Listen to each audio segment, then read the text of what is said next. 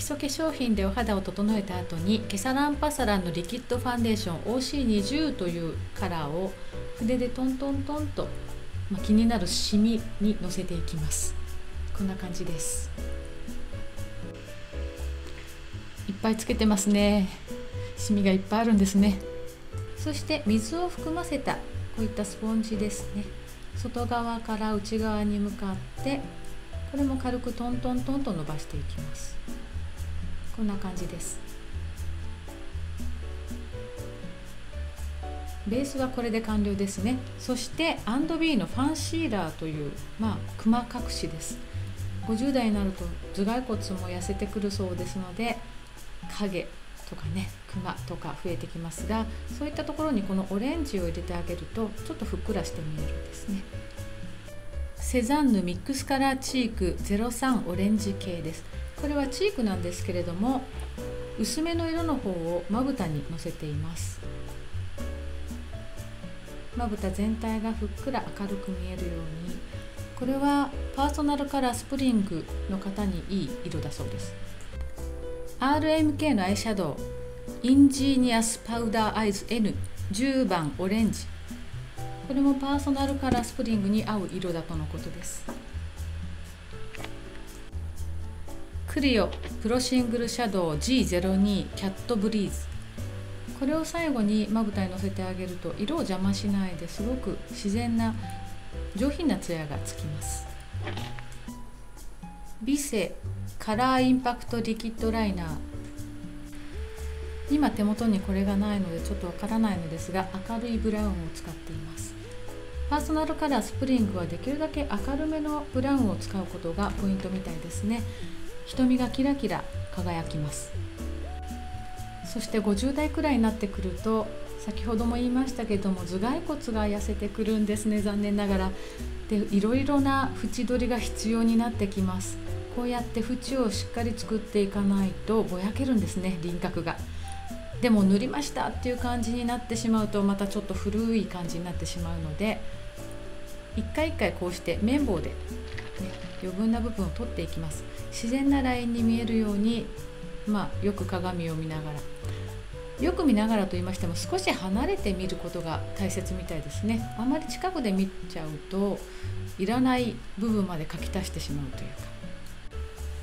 まつげは外側と内側できるだけまつげのキワキワのところにラインを入れています。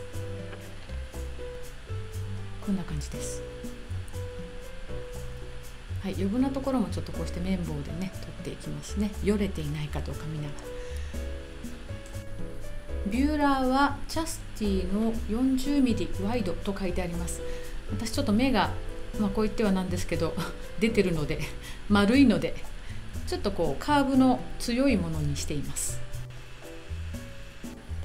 ファシオのマスカラベース。前はマスカラだけでパリンとこうまつげが上がってたんですけれどもねやはり50代ぐらいになってくると下がりやすくなってくるんです。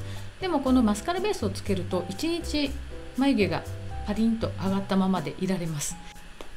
この時はドラッグストアコスメのこのマスカラベースを使っていました。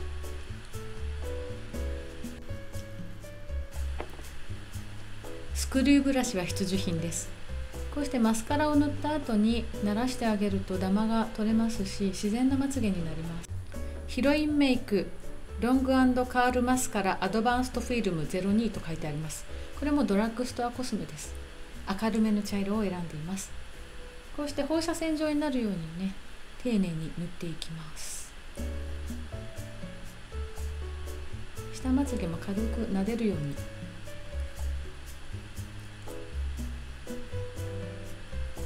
そしてスクリューブラシですね。一回一回こうして溶かしています。まつげ大事ですからね。自然な感じで長く見えるように。もう一度塗ってますね。ちょっと物足りなかったみたいです。やはりねこうしてどんどん薄くなってくるので薄くなってきた部分を若い頃を思い出しながら描き足しているという感じですね。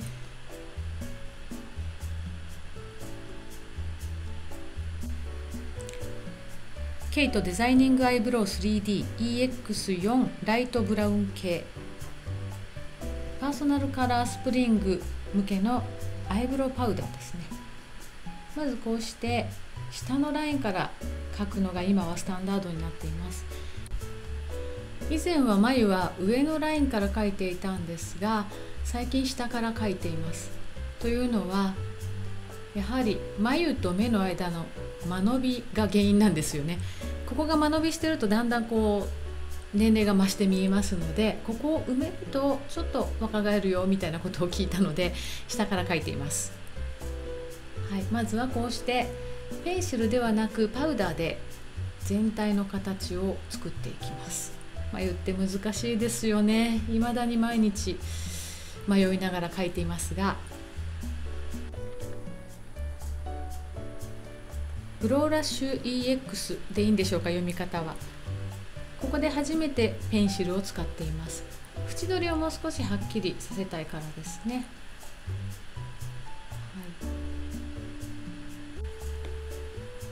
時間かけてますね。あここでまた先ほどのアイライナー出てきました。この眉にもまた隙間が出てきているのでそこをアイライナーで埋めるという技を使っています。3種類使ってますね。パウダーとペンシルとアイライナー。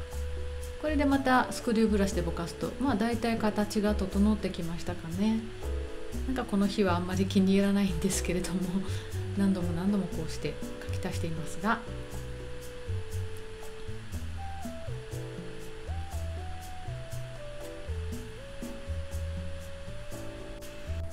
ケサランパサランのアイブロウジェル BR02 です。明るめのブラウンの眉マスカラですね。これを塗ることでだいぶ垢抜けると思います。眉毛が。髪のように合わせて色は選べばいいのではないでしょうかと思いますが。あ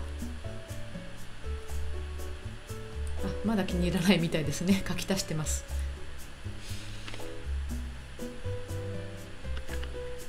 先ほどまぶたに使っていたセザンヌのミックスカラーチークですね。今度は右側の濃いめの色を頬にのせていきます。